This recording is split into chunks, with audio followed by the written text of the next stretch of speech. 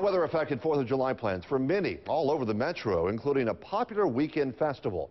16 WAPT's Allie Ware tells us if organizers of the Mississippi Hot Air Balloon Championship plan to reschedule after storms forced them to cancel.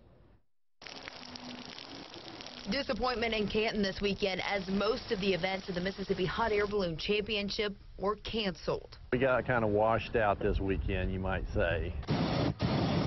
Balloon pilots meet every morning before an event, and they say the weather just was not on their side this weekend, and safety is their number one priority. We decided that we'd rather be safe and not claim anything on our insurance.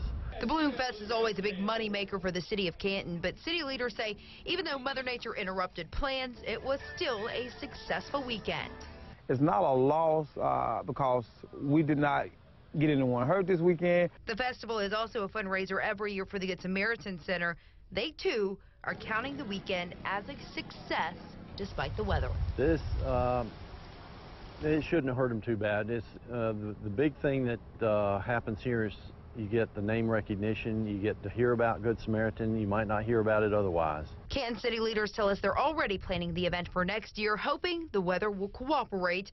And the Good Samaritan Center, they say they do plan to reschedule the balloon chase and golf ball drop soon. In Canton, Allie Ware, 16 WAPT News. Hey, they had to miss it, though. Hey, no word yet, though, when the Good Samaritan Center could reschedule those events.